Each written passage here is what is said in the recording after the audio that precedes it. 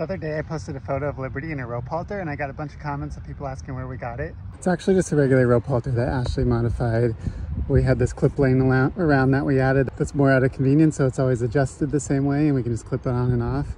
And then this little like pad this velcros on there and that's just to relieve some pressure on around the poll because she doesn't need it. If you have these spare parts laying around, maybe you want to modify it like this too.